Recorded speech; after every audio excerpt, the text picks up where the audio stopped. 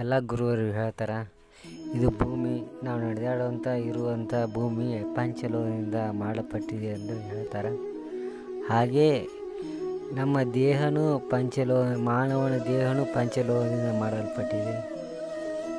ಮೊದಲ ಭೂಮಿ ಒಳಗೆ ಏನೇನೈತಂದ್ರೆ ಭೂಮಿ ಒಳಗೆ ನೀರು ಐತಿ ಎಪ್ಪತ್ತೈದು ಪರ್ಸೆಂಟ್ ಮತ್ತು ಬೆಂಕಿ ಐತಿ, ಗಾಳಿ ಐತಿ, ಆಕಾಶ ಐತಿ ಮಣ್ಣು ಐತಿ ಹಾಗೆ ನಮ್ಮ ದೇಹದಾಗೂ ನೋಡ್ರಿ. ನಮ್ಮ ದೇಹದಾಗೂ ಎಪ್ಪತ್ತೈದು ಪರ್ಸೆಂಟ್ ನೀರೈತಿ. ನಮ್ಮ ದೇಹದಾಗೂ ಗಾಳಿ ಐತಿ. ನಮ್ಮ ದೇಹದಾಗೂ ಆಕಾಶ, ಆಕಾರ ಎಲ್ಲ ಕುಲ ಕುಲ ಜಾಗ ಅದಾವೆ. ಹೊಟ್ಟೆ ಒಳಗೆ ಕುಲ ಐತಿ, ಬಾಯಿ ಒಳಗೆ ಕುಲ ಐತಿ.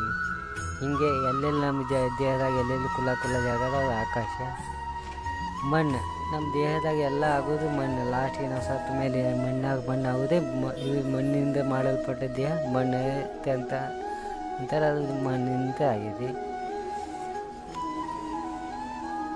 ಅದಕ್ಕೆ ದೇಹಕ್ಕೂ ಹಾಗೂ ಪರಿಸರಕ್ಕೂ ಯಾವುದೇ ಇದು ವ್ಯತ್ಯಾಸ ಇಲ್ಲ. ನಮ್ಮ ದೇ, ಇದು ಪರಿಸರದಾಗ ಹೆಂಗೆ ಐತಿ ನಮ್ಮ ದೇಹದಾಗೂ ಅದೇ ರೀತಿ ಪಂಚಲೋಹಗಳಿಂದ ಮಾಡಲ್ಪಟ್ಟಿದೆ ಎಂದು ಗುರು ಹಿರಿಯರು ಹೇಳ್ತಾರೆ.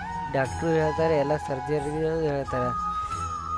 ದೇಹ ಪಂಚಲೋಹಗಳಿಂದ ಮಾಡಲ್ಪಟ್ಟಿದೆ.